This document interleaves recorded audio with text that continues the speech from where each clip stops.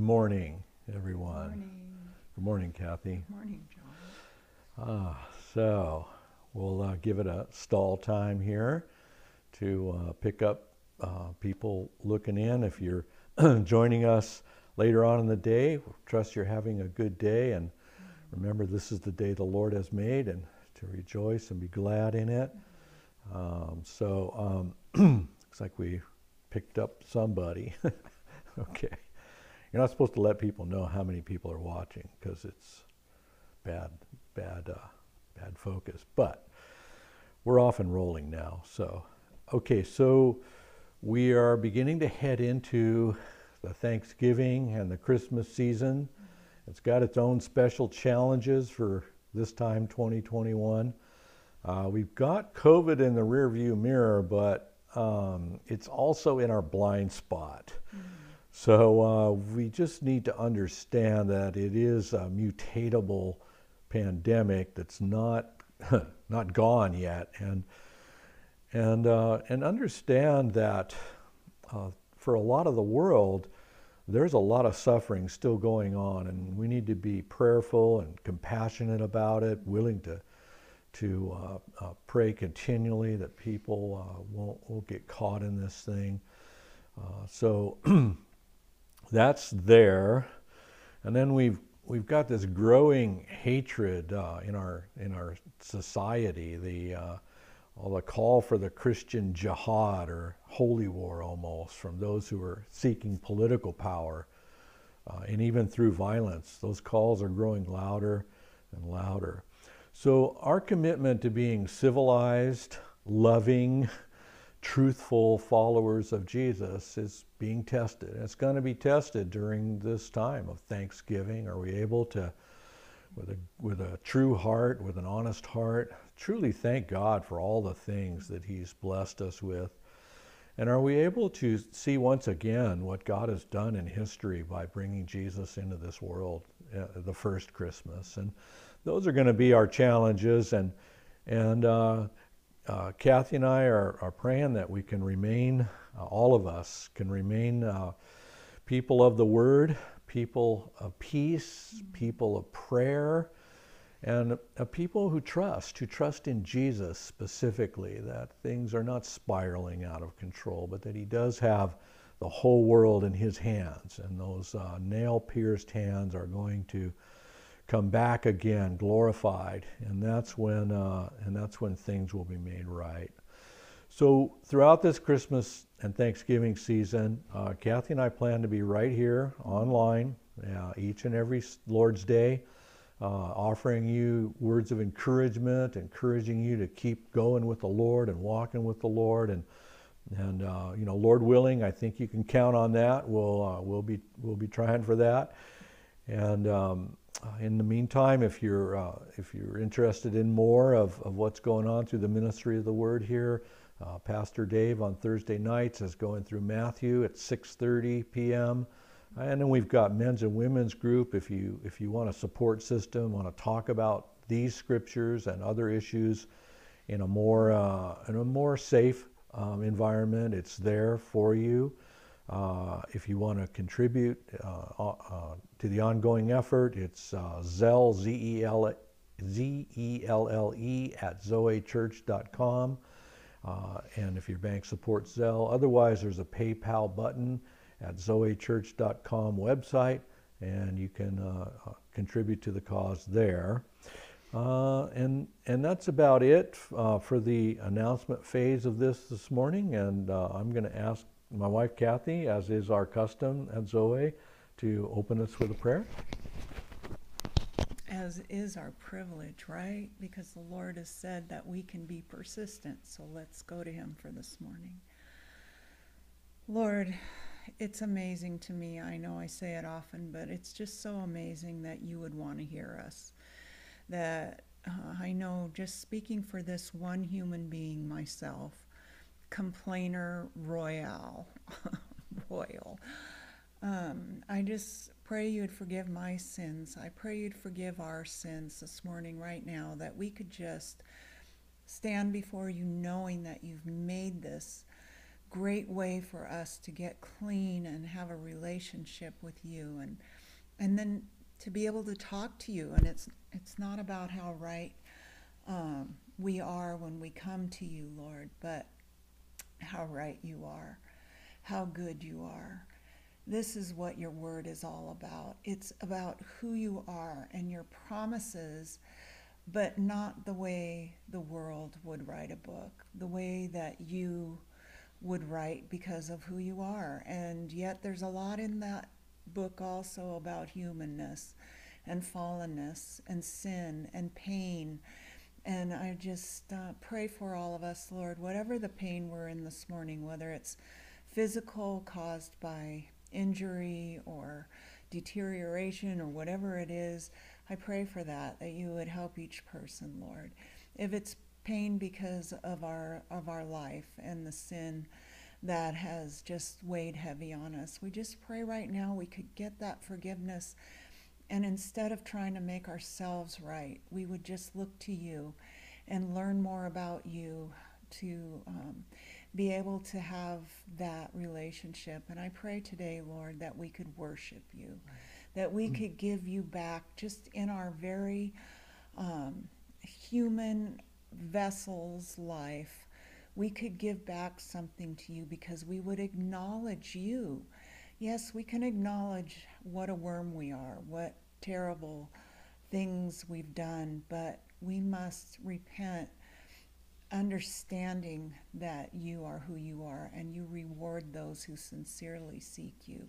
Reward us with you, Lord, this morning, and we will praise you because you are so worth it, Lord. You are so worthy.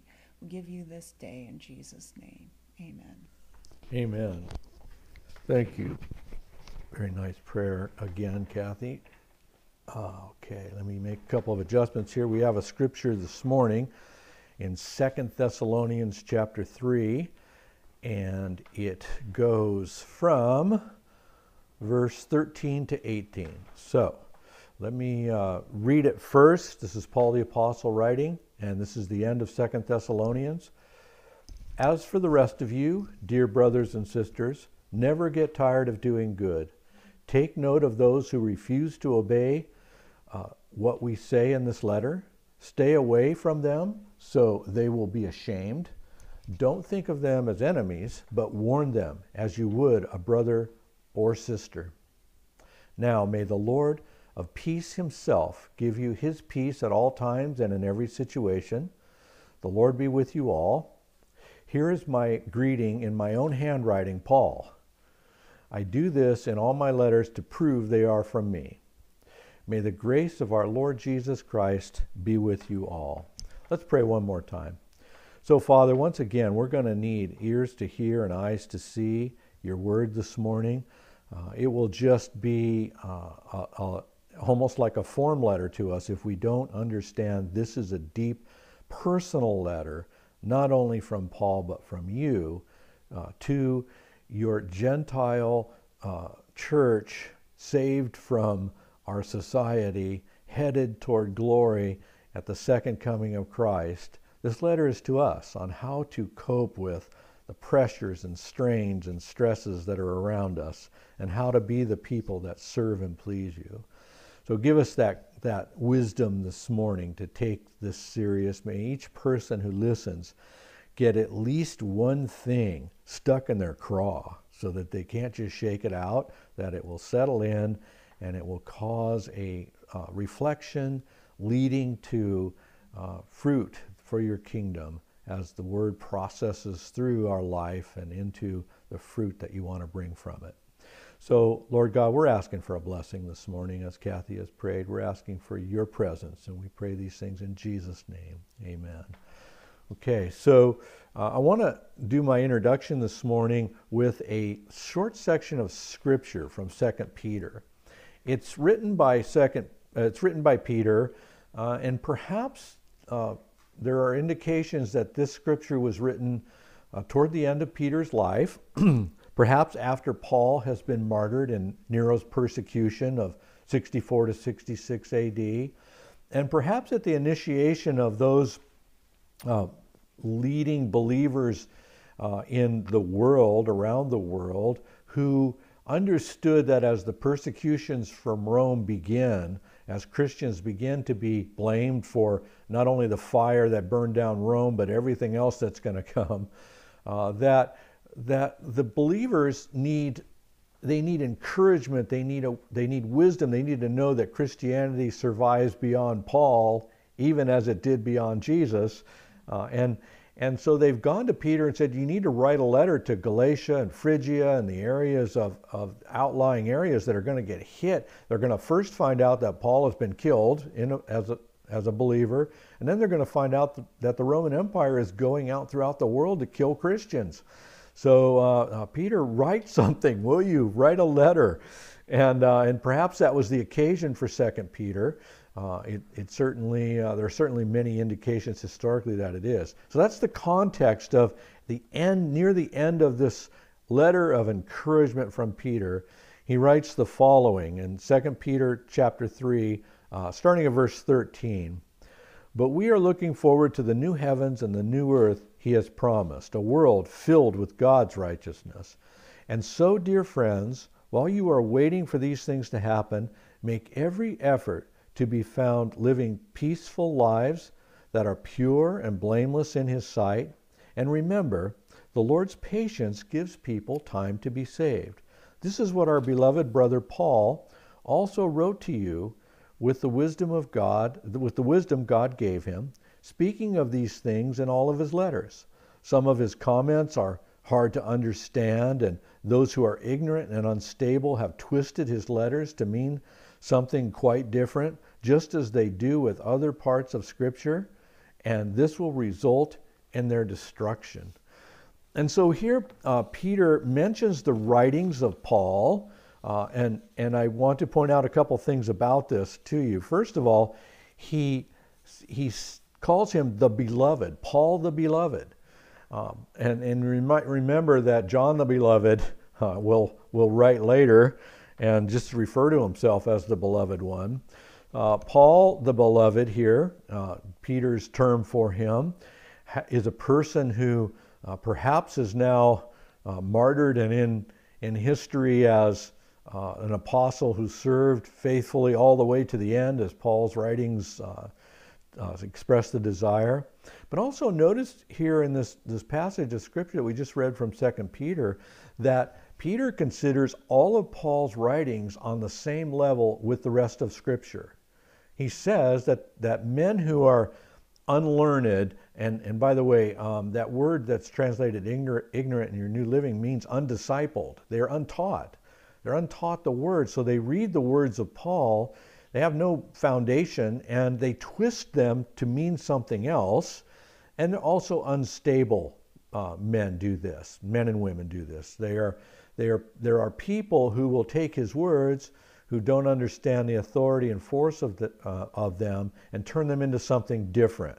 And this is what they do to other scriptures also, Peter says. And so we understand from our uh, Protestant uh, connection, and, and we are Protestants primarily, uh, post evangelical Protestants, whatever that's shaping up to be. Uh, but we understand that the Reformers' doctrine of, of sola scriptura guarded them uh, against putting non biblical writings in with biblical writings. Uh, sola scriptura is only scripture. Scripture uh, compares to scripture, uh, gets you understanding. You don't need uh, the encyclicals or the, uh, the bull, papal bulls, and you don't need all those things to understand what God's will is, that the scriptures compared with the scriptures will get that for you. So that doctrine of, of sola scriptura guarded the reformers against the, uh, the blending and mixing of, of traditions with the scriptures in order to carry on things that, that people wanted to keep going with. But uh, what it doesn't guard against uh, is turning the historical reality of first century Christianity into a system of idealistic theology, which is kind of what the reformers are, is their Achilles heel, that, that it's a system of theology and not an ongoing, unfolding revelation of who God is through history, through sacred writings. And, and so it's easy to detach the, um, the meaning from the history of the first century and put it into a system of thought, uh, a, re, uh, a systematic theology, if you will. So the study of scriptures uh, as canon, as a measure of God's revelation uh, of Christ to people, the, the development through the first century is critical to understanding that it was finalized at the book of Revelation, after the book of Revelation, that now the whole thing is finalized. That it wasn't just a book written in Jesus' day or after Jesus' day, but the New Testament is 27 uh, books that are written through the course of history, uh, and they are written by humans inspired to write uh, what God wants written as God, uh, in a complementary fashion, works on humankind and history through the first century. And so all of that's together. History is knit closely in with the understanding of, of, uh, of, of Scripture, and it gives us the way to properly interpret Scripture so that we don't twist it and turn it into a system of idealism that has no, uh, that has no connection with the practical realities of life. So that brings us around to the letters of 1st and 2nd Thessalonians, which we finished today. Um, these were uh, among the first letters of the New Testament written, and they were written to one of the first Gentile communities of faith in, uh, in the world, apart from what God did among the Jews and bringing Christ into uh, the old covenant world, having fulfilled the covenant, having uh, uh, gone to the cross with our sins and been raised from the dead and taken up into heaven. The message now of the resurrection was rejected first at Jerusalem, then into Judea, and it was rejected. Now it's going outward to the outermost parts of the world. Uh, it, it, it, went to uh, Anatolia or, or uh, uh, Galatia, Phrygia, as we mentioned, primarily to the Jewish synagogues, where it was rejected once again. And now God calls the, the world to have the gospel.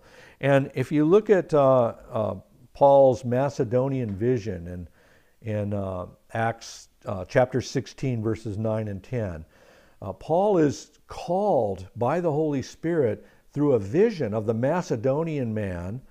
Uh, Macedonia is the area where, where Philippi, Thessalonica, all the way down to Athens, that whole area. Um, uh, well, actually, Achaia starts uh, just where Athens is, but that Macedonian area uh, is, is where these letters are written to. And in the vision, the Macedonian man says to Paul, Come over here and help us. And in verse 10 of, of Acts chapter 16, Paul interprets that as meaning bring the gospel to us. Bring us the gospel because we need to be saved now. So, this is the outgrowing circles of the spread of the gospel as told by Jesus in Acts chapter 1, verse 7. You go to Jerusalem first, then Judea, and then, and then, the, then it starts to spread out uh, uh, to Galilee and then the uttermost parts of the earth. And this is the uttermost parts of the earth, the last phase going to the Gentiles. And perhaps we're, we are at the uh, last wrinkle in time, the uttermost time of the Gentiles, the outlying edge of Gentile salvation and the reception of the gospel before things wrap up and the Lord comes again and the kingdom of God is in our midst. Oh, that sounds so good. I don't know. It's not just an age thing, it just sounds good. So, uh, so this letter, or these two letters, actually, I'm going to talk about them together, written by Paul. They're scripture. They are, uh, they are from Paul, but they are also inspired by God. It's his message, it's his gospel. Uh, they tell us things about Gentile faith and believing in Jesus to the point of salvation. They, they give us instructions for that, and they are meant to meet us where we're at, coming out of a Gentile world of idolatry and trusting in all the wrong things, worshiping all the wrong things, serving all the wrong things. And so we pick up in chapter 3 and verse 13, and th- verse 13 resumes uh, addressing the community of faith. Now, Paul took a little diversion or a digression, if you were, if you will, in verses six through ten. Um, he he talked about a particular mindset that the community of faith was to stay away from, and that mindset was the the uh, the disorderly, the idle, those who wouldn't work, those who would attend Christian fellowship and and feed off of what's there, but they wouldn't care to get their own food and wouldn't care to uh, provide for their own selves. And there's a lot of symbolism in this as well as uh, uh, basic dynamic instructions. It's, you know, when Paul says, if you don't work, you shouldn't eat, he's not saying you should be starved to death. What he's saying is, if, if you don't understand the curse that's on the earth and that you're going to have to work by the sweat of your brow to get by, that the blessings are uh, the blessings are going to come later when we eat from the tree of life again freely and fully, uh, as Adam one day, Adam and Eve uh, one day did. Uh, until that's restored, we're going to accept our place in this world and say, by the sweat of our brow, we are going to live in this cursed place, knowing that God has reached into that cursed place and promised us salvation and is now helping us to walk in the first steps of that salvation, delivering us even from the things around us. And I've, I've found I've found through my life that when work gets the hardest, the Lord is there and He is there to help. He's there to lead us on. He's there to help us take the next step. And sometimes there's only just one step ahead. Uh, this is an aside. It's not in my notes. So I hope I do this right. But I've been listening to the to the uh, next to the last, the penultimate version of the rise and fall of Mars Hill, uh, the Christianity Today uh, audio um, journal of what happened with Mars Hill Church and the, the rise of it and the fall of it. And this last episode, the two and a half hours of listening to this internal struggle and fight within the ecclesiastical fight and the damage caused and the and the point of excruciating soul searching by the men and women of families and and uh, people of, of ministry who are driven to just the edge of almost madness by what was happening and I and I realized you know the the church the Christian church the contemporary evangelical church has really been scourged in a lot of ways in the last 30 years, the last three decades. And, you know, it says in Scripture, let judgment come first to the household of God. And in a way, some of the, some of the judgment has come. And, and there's been a lot of pain and a lot of hurt and a lot of uh, cursedness has, has hit people. Even though the church is an organization blessed by God, it is still human organization at a lot of levels, particularly the management functions and the mega church operations and the cults of personality and the things that have been brought in that are not uh, not not authorized by Scripture, not called for by Scripture, and really are man's attempt to make something good even better. And and so we understand that sometimes our work gets so wearisome we want to just give up. And the Lord is always there for the next step. He's not always there to just pull back the curtain and say, oh, this is all going to work out all the time and see how this fits here and that fits there. Uh, take the panoramic view of the highway of struggle you're on and you're going to see all the exits and all. You don't get that. You just get, here's the next uh, fork in the road. Take this one. And uh, a lot of times that's all you get, and a lot of times that's all you need, really, because the anxiety up ahead sometimes can uh, can scare you off. So, so Paul has been talking about that. He's done a digression, and then in verse 11 and 12, he's directly addressed those people, and what he's done is warned them. He hasn't uh, he, he hasn't um, uh, them. He's warned them not to think the, the way they're thinking. And he's told the community of faith don't let these people pull up a chair and sit down at your love feasts and, and just partake of your ideas, your thoughts, your prayers, your koinonia, your fellowship, as if they aren't in, uh, in another um, another mode of existence. Because what they're going to do is they're going to share with you their wild uh, theories and ideas, their undisciplined uh, uh, thoughts, and and you know people have those thoughts, and if you have those thoughts, it's okay. They just can't prevail at the community of faith. They can't become the community of faith's views. Uh, I can remember uh, one time at, at, uh, at Zoe when we finished a service, this is probably a decade ago, uh, a young man who I, who I love dearly uh, came up afterward and, and started telling me about these apocryphal works that he'd been reading, uh, these, these works of, of, of people who have been disproven to have any value of Scripture whatsoever. And I mean contemporary apocryphal works, people that claim to be speaking for God and just had wild, crazy ideas. And it was okay that he had those ideas. It was okay that he could share them with me. Now, if he had taken the microphone and taught the community of faith those things, that would have been terrible. That would have been disaster. But it was okay for me to know that those things are going on in his mind and I could I could gently talk to him about each one of those things. I could warn him about uh, the, the errors that were in those things that had been discovered by others and, and uh, were, were an indication that you shouldn't be following those things. And, and that was the context of it. It was okay to have those ideas. Those ideas just couldn't prevail.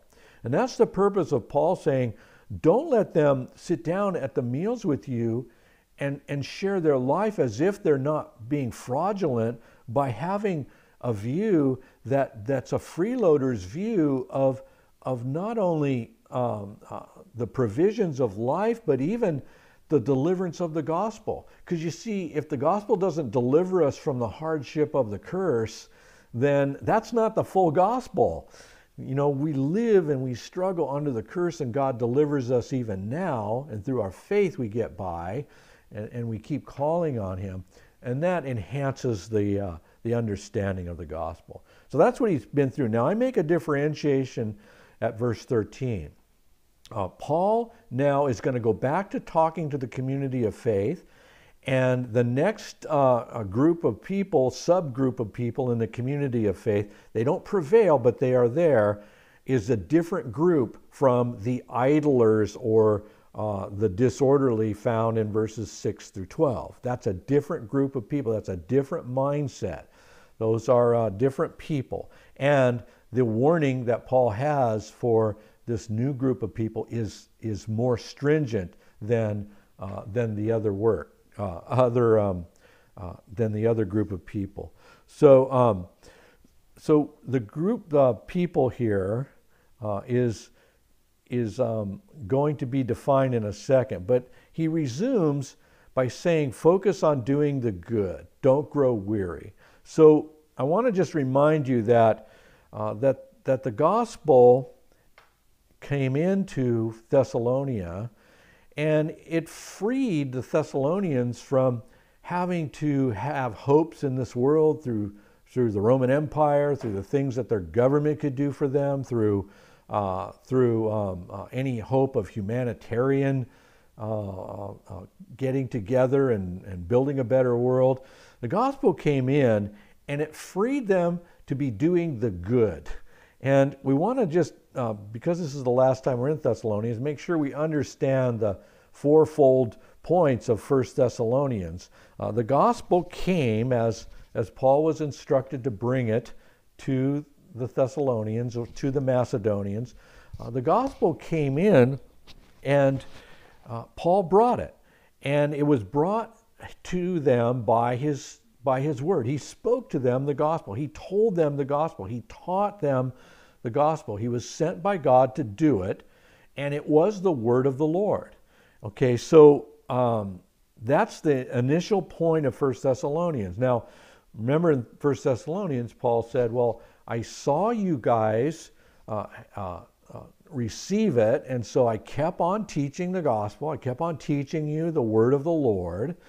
And, and then later, he's, he's, uh, after Timothy goes there, he says, I know now that you believed it because it took root. You, you are the called because when the gospel was preached, you responded to it. And so remember, our teaching, preaching, warning, reaching out to people will be responded to not by the urgency of our plea, but it'll be responded to by God enabling a person to respond to his gospel. That's what makes the gospel responded to, not the eloquence of your argument, but uh, you have to be just truthful enough to understand. You have to be, just be in that bandwidth of truth. And when you're in that bandwidth of truth and you teach it or preach it or share it with somebody else, if they are of the Lord and called by the Lord, they will respond inside. That's His doing, that's His work to His message. You are just a part of that system. So Paul said that he brought it. Uh, he also said that they were converted by it. They left their idols, their former way of coping with life and all things. They left that behind and they got to the place where they desired to serve and please God. And so that's the second point of 1 Thessalonians was that uh, the gospel converts us. It changes us from being Gentiles to being followers of Jesus. That's a gradual process. Sometimes it, it goes over a really long period of time, uh, a lifetime even. Uh, sometimes it, it just barely starts. Uh, remember our beloved Joe Risser, 85 years old, and just finally believing and following Jesus. And just a few years later, the Lord took him home and completed the process real fast. I mean, it just barely started, and then it was completed. And uh, the the um, the last shall be first, and the first shall be last, Jesus said. And my good friend Harry Friedman from the villas used to always say hallelujah when I said that because he was 95 years old when he came to the Lord. Uh, and he realized that, uh, that he was one of the last and he's going to be one of the first. And that's the way God is. That's God's, God's wisdom and God's judgment. So they were converted by the gospel. It changed everything about them, and they then started to live to please God. And then once they got past that stage two, they were told to wait or persevere for the return of Jesus from heaven. They weren't to look to anyone else, they weren't to solve uh, the issues of life in any other way, but they were to wait, to wait on the Lord from heaven. And that's not an easy thing. Somebody comes along with a lot of promises, a lot of hopes. They come along with a vision or an agenda, and they rope us in and they sap our energy and make us work for them. And then we find out it wasn't the gospel after all. We are to wait for the return of Jesus from heaven, or to endure here, or to persevere. And that's what we learn from from John's Gospel. Endurance is the mark of the disciple, the one hupomone, who endures underneath of the labor of living in this world, being called to believe each and every day, believing in Christ continually, then we have the authority and we are the children of God at that point. And then uh, the fourth part of what Paul brought to town in Thessalonia was that we are being rescued by Jesus from wrath at the present time and ultimately in the future when the full wrath of God is poured out. So you don't have to work your way to salvation. You don't have to do things that make you a good boy or a good girl, and they, they don't have to accumulate and pile up to where they un, undo all the things you did before you knew the Lord or do, undo all the things you're doing while you know the Lord and aren't doing them right. Uh, that's not the way this works. This doesn't work by, uh, by our uh, now becoming religious people and doing more religious things. We are free from that. We're going to be rescued from the wrath in this life. If you believe in Jesus and, and, you and something bad happens to you, it's not because you're being punished personally by God. He doesn't punish personally the followers of his son Jesus. They are free from that wrath.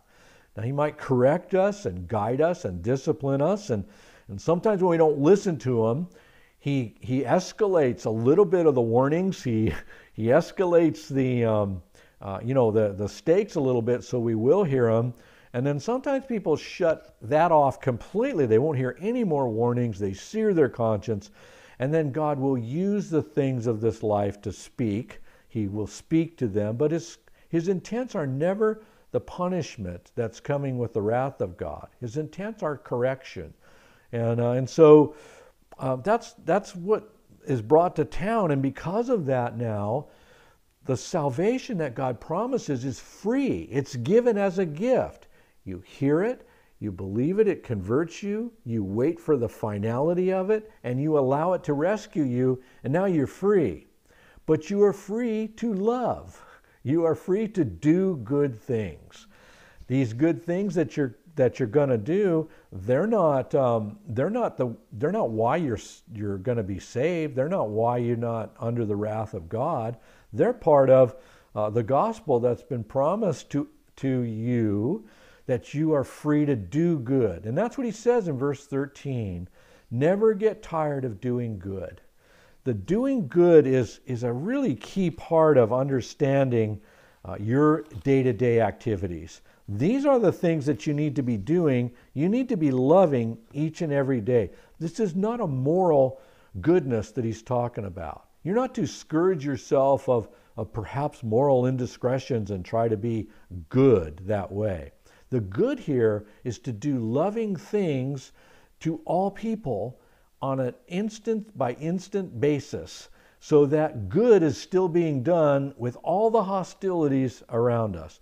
Let me read this portion of, of scripture also from Paul, and this is in 1 Timothy chapter 6, and this expands a little bit on this idea. I'm going to read verse 17 through 19. Paul, writing to Timothy, tells him, Teach those who are rich in this world not to be proud and not to trust in their money, which is so unreliable. Their trust should be in God, who richly gives us all we need for our enjoyment. Tell them to use their money to do good. They should be rich in good works and generous to those in need, always being ready to share with others. By doing this, they will be storing up their treasure as a good foundation for the future so that they may experience true life. So notice the expansion of the good there. It's to be a generous, giving person, to be a loving person, doing good things. I'd venture to say that each of you who hear this this week will probably meet three to 20 people who you have an opportunity to do good, to do a good deed for, to, to uh, do something loving toward. Uh, and even if it's just to walk away from interaction with them and pray for them, even if it's just to uh, hear the cry of their heart and, and comfort them, or it might be something very practical to give them uh, a helping hand, to let them cut in front of you in traffic, to let them go ahead of you in line at the market, to, to uh, hear out their complaints and their anger. We're supposed to be doing the good. Jesus comes back he says those who are doing the good are going to come forth to a resurrection of life. So Jesus is doing the good. He wants to be doing the good, and he wants to do that through you and, and me. Not so that we can be saved. We're saved because we believe in Jesus, but because Jesus wants to do the good. So that's, that's as much as I can expand verse 13 to you. Paul gives us that focus again, uh, that focus of, of, of doing good. And, and that's what our activity is to be. And the duration of that activity is all the way up until Jesus returns. That's how long we're supposed to be doing the good. And remember uh, uh, the incident earlier in, um, in 2 Thessalonians in chapter 1, where he, he talked about your rest as a, as a follower of Jesus. Your rest from all of this comes at the second coming of Christ, verse 7 of chapter 1 of Second Thessalonians. Then he'll give you rest. You will have that rest at that time. So, agape for until the second coming. Not, uh, it's not a uh, moral position. It is an activity that you do on a daily basis. And uh, so, let's um, let's go to verse 14. And verse 14 starts out with make a note. Make a note to self. Take a note. Literally, that's what it says. Make a note to self of those who are refusing to obey what we say in this letter. And, and, and Paul refers to his own letter, his own letters, his own writings. Okay? Let those who refuse to obey uh, make a note of them because you need to note that they're not in obedience to the word. Now, we're not talking about you're judging somebody. We're talking about you're observing something that's, that's going to be very obvious to you, that, that you don't need a lot of discernment to, to decide. Um, this comes about because people uh, don't listen to the gospel, don't listen to the teachings, don't listen to the leaders who are teaching uh, any more than they listen to other people. So you're going along in a church for a decade, and all of a sudden a politician comes along and tells you to do something else, and you have no qualms about, oh, I think I'll do that. Uh, that sounds more powerful to me. There's no there, there's no consideration. Well, well, one person's got their life dedicated to the Lord and is, is called to lead a community of faith, but another another person is out serving themselves, but but there may be more in it for me than that. Um, you'll know, you'll hear in their voice what they're saying, that they're not really obeying the teachings of Scripture as they're taught. You know, one of the beauties of a small community of faith is that God emphasizes certain things at certain times. So, uh, God may be working with a community of faith to be more generous, to be more loving, to be more civil, uh, any number of things. He doesn't work on everything all at once because you can't get everything all at once, and you can't get to that place where all the projects are finished up at the same time. And so he calls a community of faith to focus and emphasize a certain thing, to share their thoughts, to share the teaching, to share their wisdom, what they're learning, to grow together organically as a community of faith. And, and so some things are taught and some things are taught later, okay? When someone's going against the things that are taught, they're not with it. They're not in they're not on board with the community of faith and the work of grace that God is doing. And and so it becomes obvious in the things they say and the things they do, they're going against what's being taught. Um, I, I tried to think of, um, of some examples of this that, that uh, might be helpful, but um, you know, I don't, I don't know that you need a lot of examples. We live in, in such a time where, where there's so many ideas and so many uh, untruths circulating, going around, so many conspiracies, so many things that are just like if you're going to listen to them, you're going to get sucked down that rabbit hole. And uh, you know, and, and if you're gonna if you're gonna get go down into the rabbit hole and then think, well, I this is fun. I'm going to see what's down here. Uh, you're going to be in a world of trouble, and that's that's basically what Paul is saying here: is let those people get into their world of trouble. He says, stay away from them. He says, uh, uh, don't keep company with them. This is the same word he used in 1 Corinthians chapter 5 to the man who is, uh, who is immoral, who was uh, having an illicit sexual affair with, with, a relative okay and and then being in the church and going ah see how free we are we can do anything in christ um, paul called the corinthians to put their pride down and, and pushed that man out because he's not to be there pretending to be a Christian when he's acting that way. Now, Paul doesn't. Um, Paul doesn't say he's not a Christian. He says he can't be a Christian and be acting that way. So Paul taught the Corinthians, you've got to, you've got to cast him out in the hopes that he will ultimately see the error of his ways and be saved. And, and, uh, and so there's, there's a fine line here. The people that are going against the teaching verbally uh, that Paul is doing in Thessalonica, they are to be stayed away from. They are to be pushed aside in terms of, uh, hey, we're not going to sit in here in a conversation and have you contributing your rebellious ideas when when God seems to be doing this other thing in our midst and and we're all of, of, of pretty much one accord in that God's gracious and this is what He's working on now and this is the way He's calling us. And you got this other bell you're ringing all the time. And, and uh, Paul says, stay away from them. Now, I know how, how hard this is uh, for you to, to think in terms of well, that's not fair or how do we idealize that. Um, you know, we used to have this old maximum, maxim that used to float around. It used to help people be Christians. You know, all those refrigerator sayings. And one of them was, God cleans his fish after he catches them, not before. So the people that, that are brought into the community of faith are at all different levels of, of being clean, okay? Uh, and, and what God wants to do is clean them.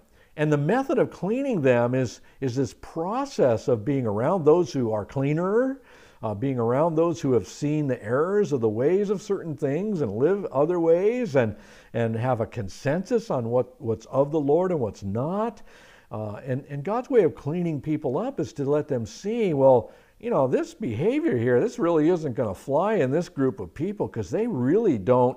Uh, they really don't accept or acknowledge that that's of the Lord or truthful at all. Um, there are dramatic examples in our midst um, uh, right now, currently in our in our American society. Um, there are people who are who are toying with QAnon theories, conspiracies all the time. Uh, you know, a couple weeks ago there was a uh, there was a rumor that John F. Kennedy Jr. would be resurrected and appear at Dealey Plaza, where John F. Kennedy was assassinated in 1963. So, two weeks ago, hundreds and hundreds of people lined the streets of Dealey Plaza, more than were there when President Kennedy drove down the street and was assassinated, waiting for the resurrection of John F. Kennedy Jr.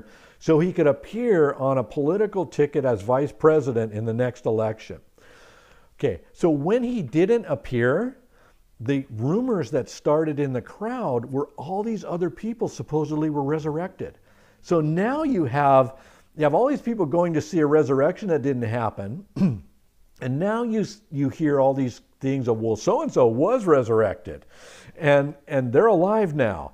And you have this craziness that that if it if it prevails in a community of faith, you're not going to be able to tell uh, you're not going to be able to tell people the truth when they have craziness mixed in.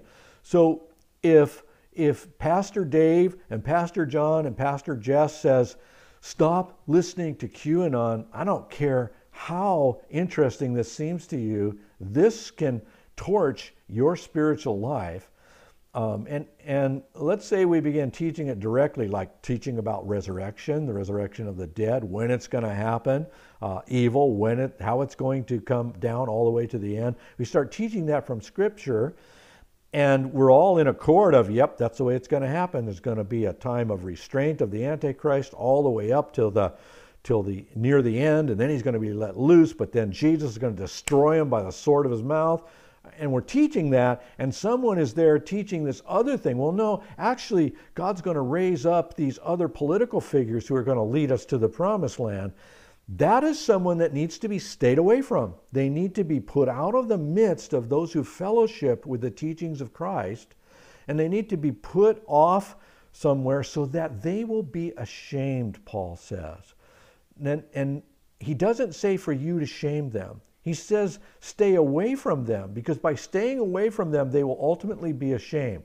So here's the principle if you don't walk with the Lord and hear His truth and be submitted under the teaching of Scriptures and, and uh, be part of a community of faith, that lifestyle will lead you to shameful things, which you will understand when you are in them. You will not be anchored in Christ. You will not be okay you will drift and you will wander and you will ultimately get to the point where you're saying, What have I become? What have I done? What have I done to myself? What have I done to my family? And you will, you will end up uh, shamed, ashamed. That's what he is saying. In verse 15, he says, Don't think of them as enemies, but warn them as you would a brother or sister. Warn them you can't go this way. Pastor Dave is talking about uh, uh serving Jesus only uh, and, and loving uh, Jesus as the Word of God. Uh, so I'm not going to be thinking in my heart that, that the Word is, is that, that Jesus is just a human being, that he's you know just another person, and he was a great great prophet, a great uh, person of history, a famous person, but nothing more. I'm not going to be thinking that. I'm not going to be uh, uh, persisting in that view because I've been warned. That view will not save you. That view will lead you to destruction. Okay, so I think you get it. Uh, most of the time, this is not a fine shading line. This isn't somebody heard the teaching and didn't get it or needed to go over it again, or this isn't like misunderstanding. This is someone who's not obeying the teaching, okay? And and that's that's what you have to do. They have no hope if they don't get that from the community of faith. The community of faith just got to say, not here and not in our house. This isn't going to prevail, and and, uh, and neither are you if you don't you know abandon this this this weird uh, non-obedience to Scripture. Obey the Scriptures. Okay, so um, then we're going to get to um, this this um, this point where the person is warned, and Titus 2:8 teach the truth, avoid criticizing other or avoid the criticism of others. Just teach the truth in a good way, and then those who oppose you will be ashamed. God will bring shame to them. You don't bring shame to them. You just teach the scriptures, you just obey what's taught and right, what's taught and true, and then God Himself will bring the others uh, to shame. We already talked about the cycle of how God corrects. And, and so, not as an enemy, not as an outcast. So, we've got different levels of responsibility to those around us in the community of faith, okay? If people uh, want to bypass the, the curse and go right to, uh, right to the rapturous presence of heaven without uh, enduring uh, a walk with the Lord, without discipleship, um, you know, we, we can't have them at our koinonia times of fellowship.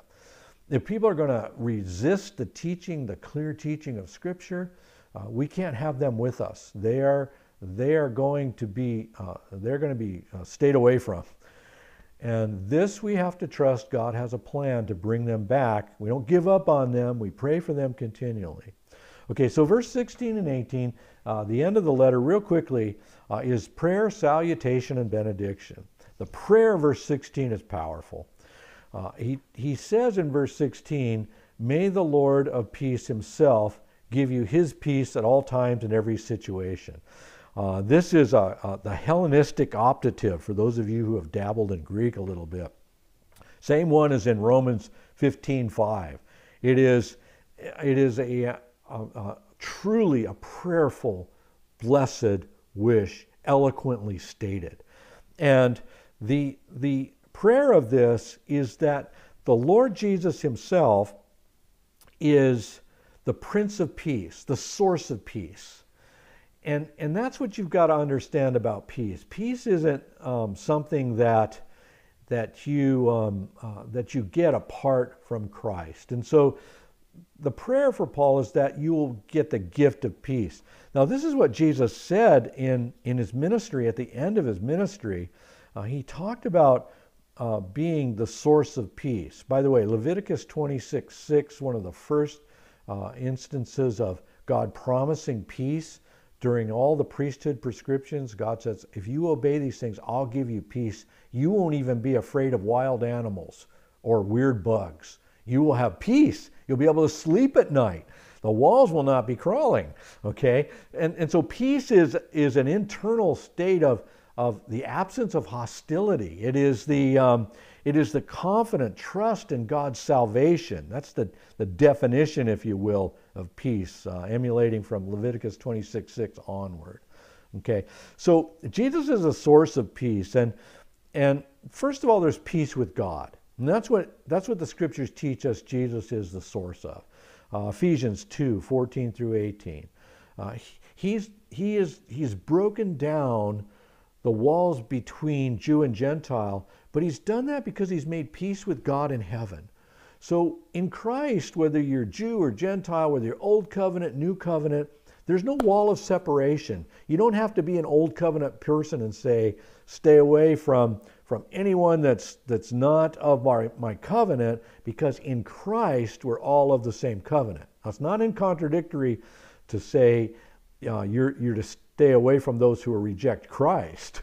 Okay, so there's no contradiction there, just to be sure. But Jesus has made peace, peace with God through Christ. But then he makes peace with each other. And it says in that Ephesians passage that he's put the hostility to death, the enmity, the hatred. He's put it to death on the cross.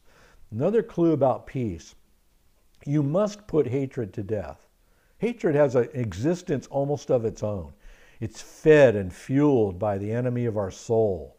It's, it is something inside of you that you don't resolve by thinking through hatred again and again and again.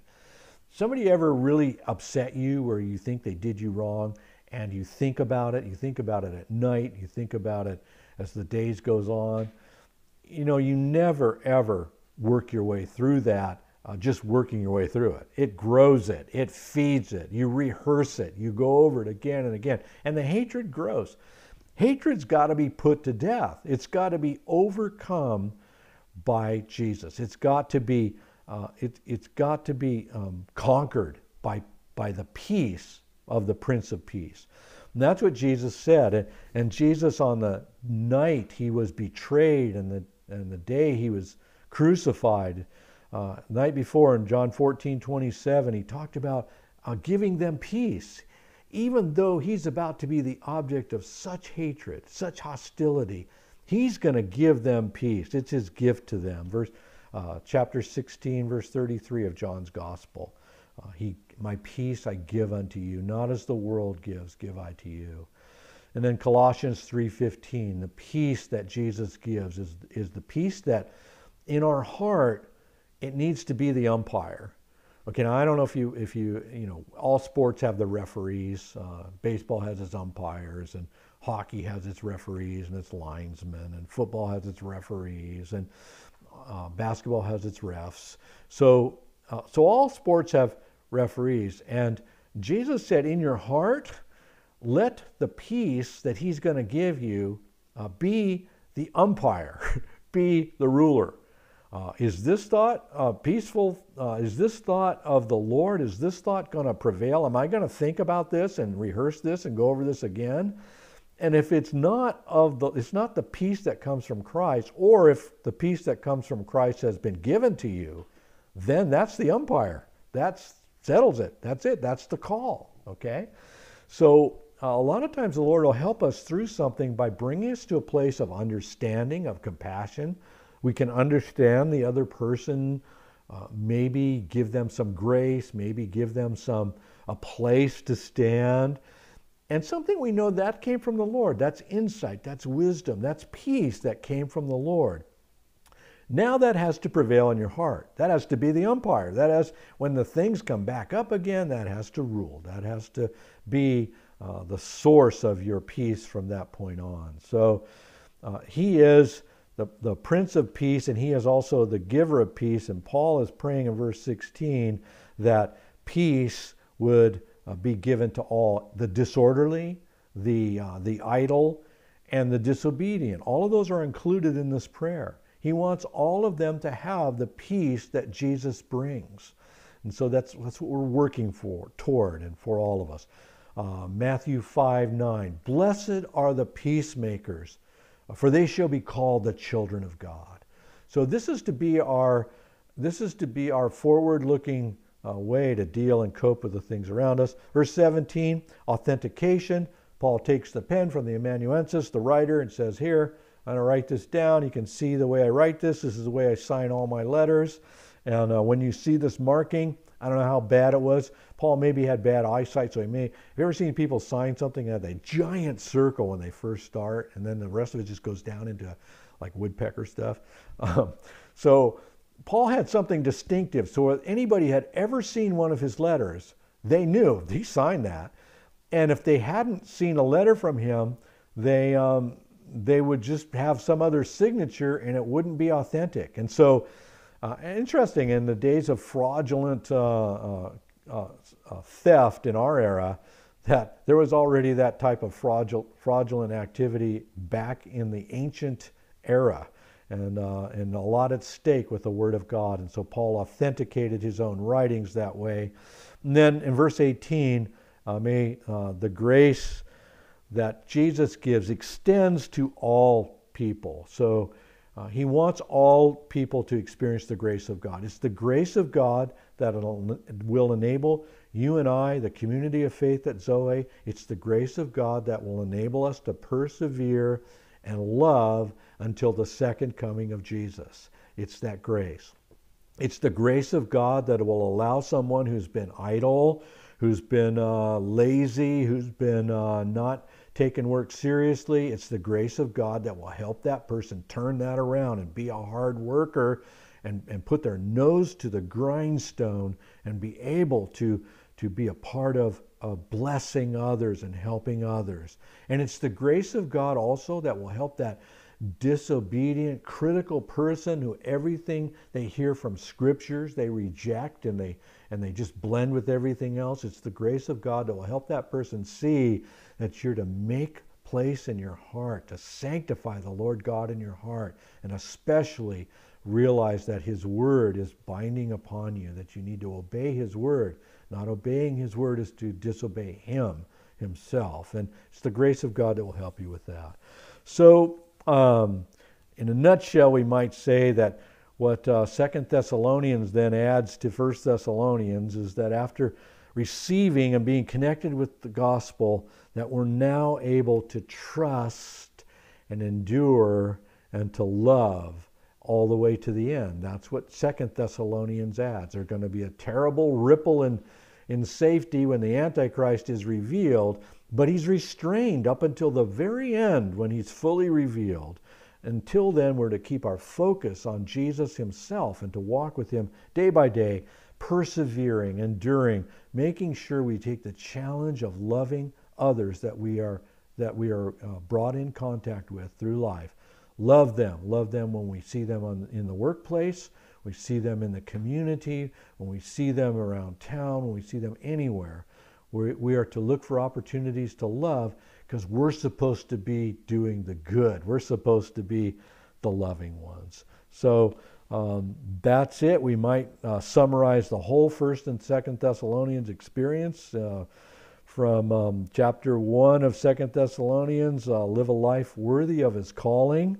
Uh, from Second Thessalonians chapter 1, verse 11, uh, to accomplish the good things of our faith uh, through the power that he gives us. And then in 2 Thessalonians 3 5, realize that God's prompting us in our heart to love and endure. That's the prompting of Jesus himself. And so then, if He gives us the power to, to follow out and follow through those promptings, we will accomplish and do the good, whether it's something simple and easy to do tomorrow or whether it's something that takes a lifetime to accomplish. By following Jesus, by allowing His enduring power to carry these things out, we'll be numbered among those who have done the good at the end. Would you pray with me? So, Father, we cast our studies of 1st and 2nd Thess- Thessalonians into your midst right now, into your presence. We ask that you would uh, use this, this material in our lives whenever you need to, whenever you see fit, whenever you want to, so that we can uh, go forward, live in this uh, life of, of continuing pressure, this, uh, this urbanized hardship that we all feel, the busyness of what's around us. Help us to not stress or fret over it, but to give it to you, to allow you to lead us day in and day out into those places of doing the good. Help us to release the final uh, outcome of our salvation to you and admit that you've saved us through Christ. We can add nothing to it. All we can do now is live in that freedom you've given us, doing the good and enduring and waiting for Jesus' return from heaven. In Christ's name, amen.